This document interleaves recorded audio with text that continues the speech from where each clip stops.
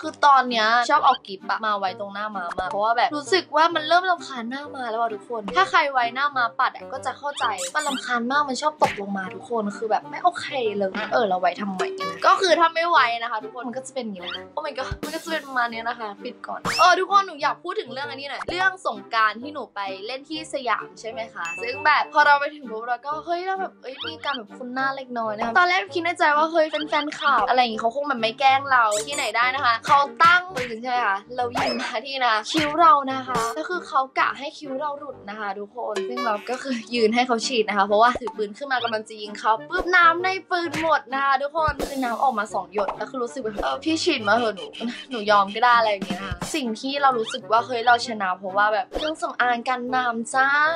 คือช่วงหลังๆพี่เขาก็เริ่มแบบที่แบบเฮ้ยกันน้ำมากใช่ไหมได้ฉันไปหยิบขันมาสาดเลยจ้าน่ารักที่สุดทุกคนคือหนูจะบอกว่าหนูเป็นคนที่แบบตอนเด็กๆอะไม่มีคิ้วใช่ปะแล้วคือมาม่าก็บอกว่าให้ทาน้ำมันมะพร้าวอะแล้วซึ่งหนูก็ไม่เชื่อว่ามันจะขึ้นจริงๆอะแต่มันจริงนะทุกคนคือแบบมันไม่น่าเชื่อมากแต่ทุกคนต้องเชื่อนะใช่แล้วอะคิ้วมันขึ้นจริง ๆ ด้วยอะตอนเด็กๆคือหนูใช้ทุกวันเลยอะพอโตมาปุ๊บอะคือคิ้วแบบ อันนี้ก็คือไม่ได้เขียนเลยนะคือแบบมันดำเกินไปทุกคนนี่ขนาดไปกันออกแล้วนะมันยังขนาดเนี้ยคือถ้าไม่กันก็คือแบบเนี่ยถึงผมนู่นเลยคิ้วห้ามิติใช่ทุกคนก็คือไม่ได้เขียนเป็นอย่างนี้เลยเดี๋ยววันหลังจะตื่นมาให้ดูแล้วก็ให้ดูคิ้วเลย ตื่นมาตอนเช้าก็มีสักเจ็ดมิติ ขอวิธีสู้กับแมลงสาบหน่อย เอาจริงๆอะแมลงสาบเป็นสิ่งที่เราอะไม่ควรสู้นะคะ เราควรอยู่นิ่งๆ เพราะว่ามันบินเร็วมากทุกคนจุดพีของชีวิตหนูที่แบบเพิ่งรู้ว่าแมลงสาบมันบินได้ ตอนนั้นน่ะเราก็คิดว่ามันจะเดินที่พื้นใช่ไหมแล้วเราก็อยู่นิ่งๆไงเราก็รอจังหวะว่าเอ้ยเราจะวิ่งหนีเพราะว่ายังไงมันก็แบบอยู่ที่พื้นอยู่แล้วอะพอเราเห็นวิ่งแล้วก็วิ่งออกตัวแรงมาก วิ่งไป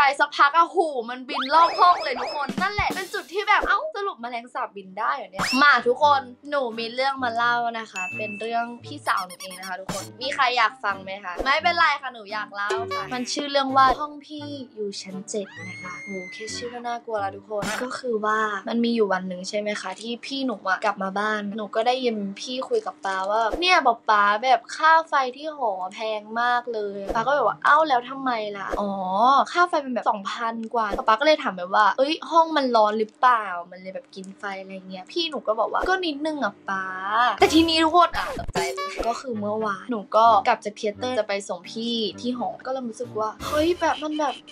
มันปวดท้องทุกคนป้าป้าปวดท้องหนักเดี๋ยวป้าแวะปั๊มหน่อยได้ไหมในนั้นพี่หนูก็ตะโกนมาเฮ้ยจี้ไม่เป็นไรเดี๋ยวไปหอพี่ก็ได้หอพี่อะสบายอีกนิดนึงจะถึงแล้วเออก็ดีเหมือนกันเพราะว่าจะได้ดูซีรีส์ต่อบนรถอะไรเงี้ยเราก็ขับถึงเราก็เริ่มรู้สึกว่าเฮ้ยมันหายปวดท้องแล้วเอ้ยเจ้นั้นเจ้ก็ขึ้นไปละกันเพราะว่าจี้ขี้เกียจลงแล้วอะก็บอกว่าเฮ้ย แต่เดี๋ยวไปปวดกลางทางอะเดี๋ยวมันจะแบบหนักกว่าเดิมนะ ไปเถอะมันสบายหนูก็เลยแบบทำไมเหมือนต้องอยากให้ไปขนาดนั้นโอเคไปก็ไปตอนกำลังเดินไปใช่ปะพี่ก็บอกว่าเนี่ยลิฟที่หอพี่อะเร็วมากเลยก็แล้วบอกทำไมยังไม่ได้ถามเลยพี่หนูว่าอยู่ชั้นเจ็ดตอนนั้นก้มหน้าเล่นโทรศัพท์ใช่ไหมกระพริบตาสองทีตึงคือทุกคนมันถึงแล้วคือมันเร็วมากเฮ้ยมันถึงแล้วหรอห้องก็แบบอยู่ริมริมหน่อยก็เดินไปสักพักเฮ้ยตาเถนคือหนูหันไปอะคือพี่หนูหายทุกคนแล้วหนูแบบเฮ้ยไปไหนอะแล้วสักพักพี่หนูก็แบบเออขึ้นมา ก็คือพี่หนูอะก็ไม่หยิบกุญแจ ก็คือไม่ได้มีอะไรก็ตกใจเฉยๆเป็นพิธีแล้วทีนี้เนี่ยหนูก็พี่หนูก็เปิดประตูมา ก็คือลมประตูอะเวลาเปิดมันก็แทงนิดนึงใช่ไหมคือมันร้อนแบบโอ้โหพี่มันร้อนมากนั่นแหละแล้วเราก็เดินเข้าไป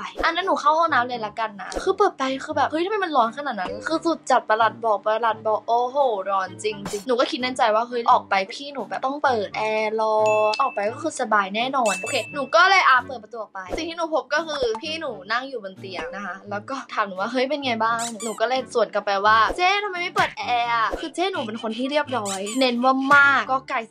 18.88 ล้านตัวนะคะคำนี้หนูจำขึ้นใจมากไม่เป็นไรพี่ทนได้ พร้อมกับปาดเหงื่อที่ไหลรินมานะคะเหงื่อหนูไหลเต็มเลยไม่เป็นไรพี่ทนได้เปลืองค่าไฟไม่เป็นไรไม่เป็นไรพี่ทนได้จุดนั้นน่ะก็คือรู้เลยว่าทำไมค่าไฟถึงแพงนะคะก็คือมันร้อนมากทุกคนแล้วคือแบบมันร้อนแบบเหมือนแบบห้องเป็นดวงอาทิตย์อะคือไม่ไหวแล้วอะแล้วพี่หนูก็หยิบแก้วมายื่นให้จี้กินน้ำก่อนไหม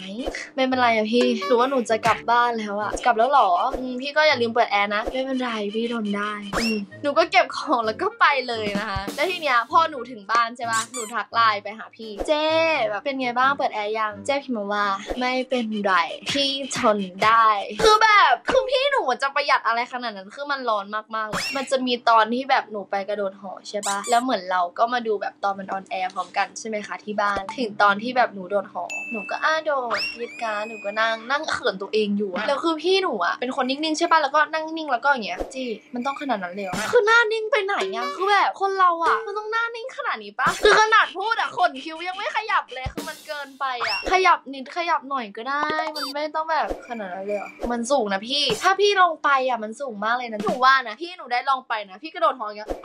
คือทำนานิ่งๆ ถ้าแบบพี่หนูมาเห็นไลฟ์นี้ก็คือแบบ ต้องขนาดนั้นปะ Wow,